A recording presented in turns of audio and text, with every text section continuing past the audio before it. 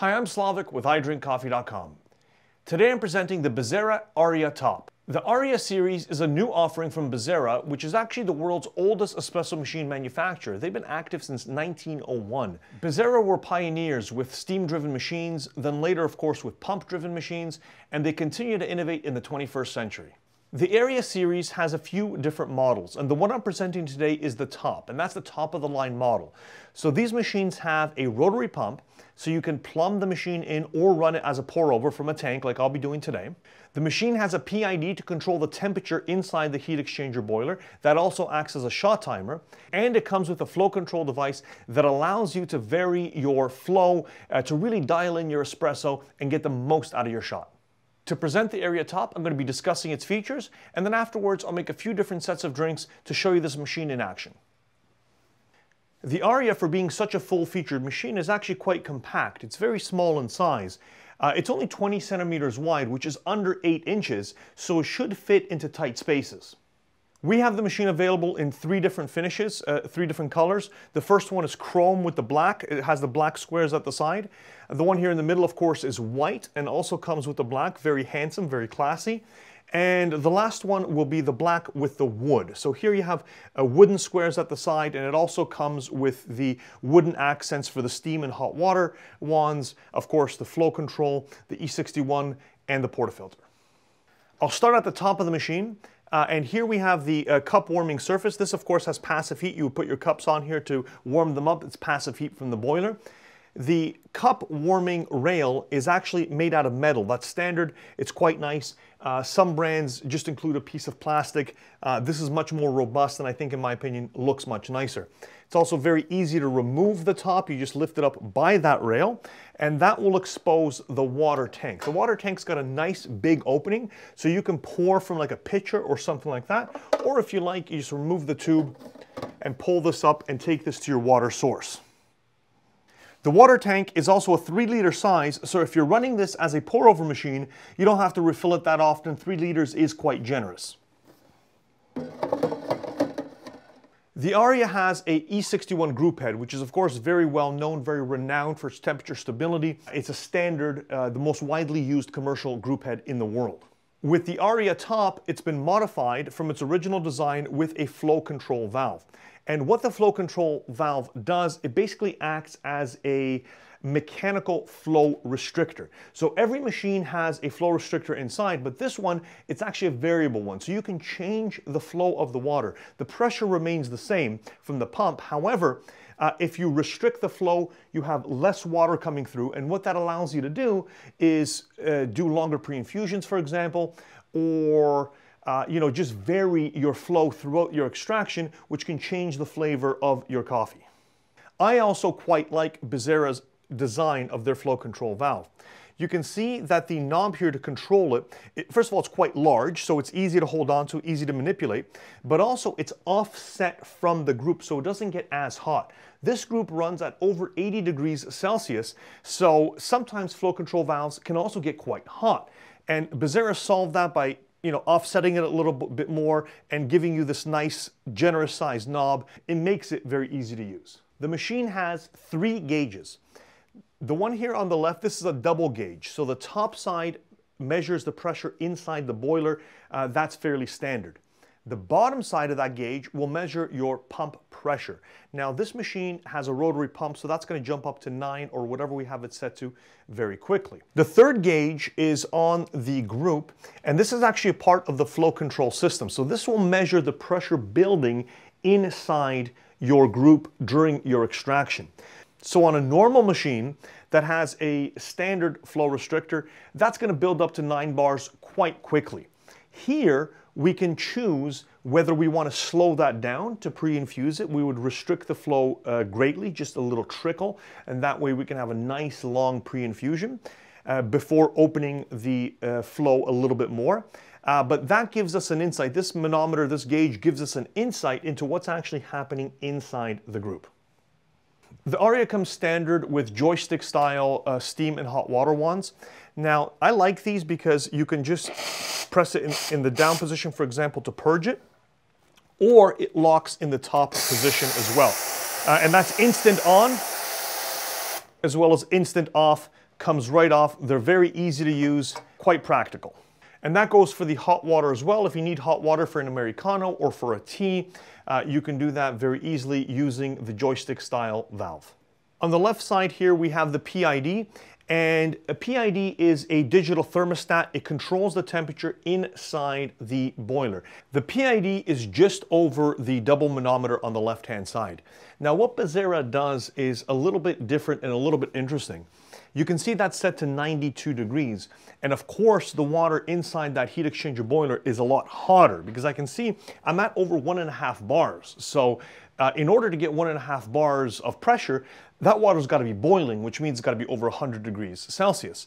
So Bezzera is trying or attempting to give you uh, control over your extraction temperature. So I have it set to 92 degrees and it should yield 92 degrees at the group. Uh, very few manufacturers are doing that. Most of the time when you have a PID on a heat exchanger boiler, uh, the readout is the actual temperature inside the boiler, which will be something like 120 or 125 degrees Celsius. Here, Bezzera is trying to let us know and control our actual extraction temperature, uh, which I think is a lot more useful. The PID, which we'll see in a moment, also acts as a shot timer, which is a very useful feature. It's a feature that I personally really like. When I go from a machine that has it to one that doesn't, it's a feature that I miss, so, so I do like to have it. And lastly, we have the drip tray, which I think is actually a decent size for a compact machine. Uh, the drip tray also has a connection here uh, so you can drain it. So you can hook this up to a drain, or if you want to drain into like a, a larger jug or something like that, you do have that ability. With this off, I'll also point out some of the uh, build quality features of the Bezzera. You can see the entire frame is made out of stainless steel, which is also a really nice touch because a lot of machines um, use painted steel for the base. They use spot welds. Bezzera is nice and solid. On the inside, the Bezzera Aria is powered using a one and a half liter heat exchanger boiler, uh, which is a good enough size for home use. You'll get plenty of steam. You'll be able to make lots of espressos back to back.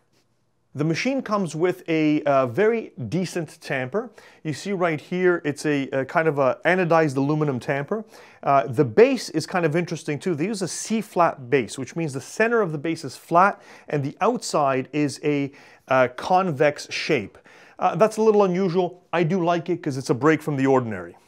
Also included, and this is something I really like and something a lot of customers ask for, Bezzera includes two portafilters. You have your standard double spout, but the second portafilter that they include is the bottomless, which is one that many times people will buy extra. With the Aria, you don't have to do that. It's right in the box for you. The first set of drinks I'm going to make is going to be uh, two shots of espresso. And alongside the Aria, I'm using the Eureka Mignon Libra grinder. Uh, this is a grind by weight grinder that's really, um, really quite incredible. It's a great pairing with this machine or any other machine in this range.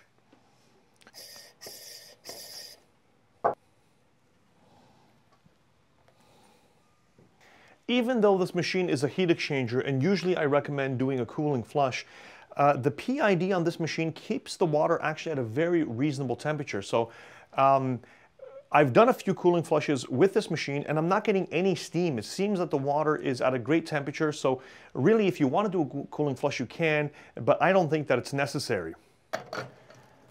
Put my portafilter in there. And I'm actually going to turn this to the right to restrict my flow uh, a little bit. So I'm going to start with a fairly restricted flow and then slowly begin to open it.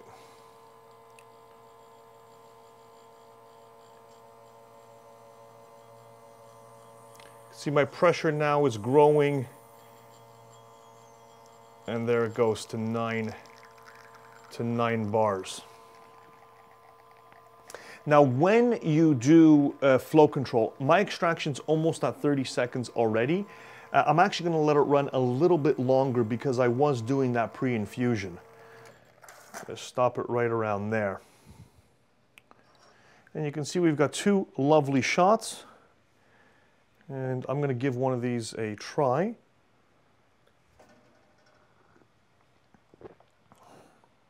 Mm, very nice, really nice sweetness. So the next drink that I'm going to make is going to be a milk-based drink, a latte. Now, this is a, a, heat exchanger machine, so I can draw espresso and froth milk at the same time, but I can't do both of those things and use the flow control. I, I, just don't have enough hands uh, or coordination. Uh, so I'm gonna leave the flow control open uh, on this one, and this will basically make the machine act like a normal machine without, when that's open, it just acts like a regular E61. So I'll put my cup down here, purge the steam, and I'll begin extracting and then frothing my milk at the same time.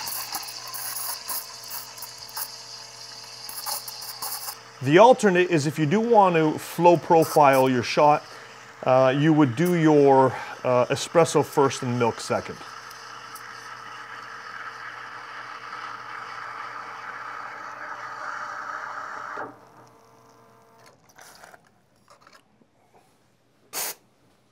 Then we just have to add our milk.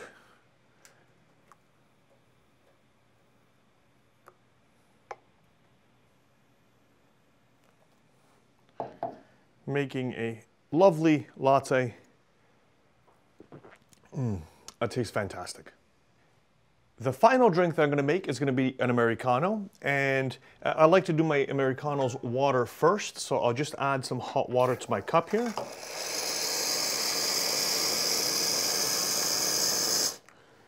Stop it right there. I'm gonna give the machine a moment to refill because it's gonna call for more water to refill the heat exchanger boiler.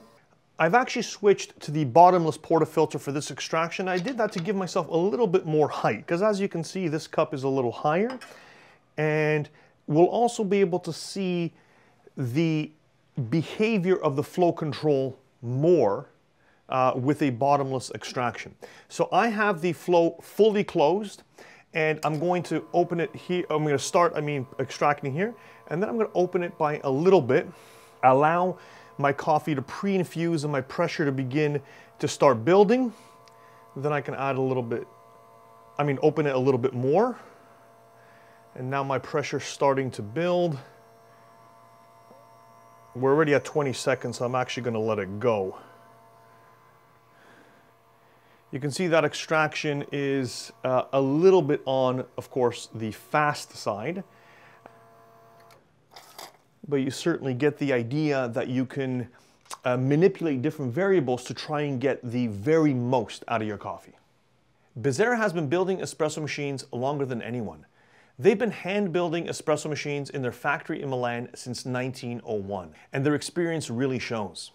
Bezzera is a very respected brand and they're known for their build quality and the value that they offer customers worldwide. The Aria, for its feature set, its compact body, its impressive styling, rotary pump, joystick style steam and hot water valves, a flow control valve, E61 group head, PID. I mean, those are a lot of features and the machine is priced very well, I think, for an Italian made product with this incredible feature set.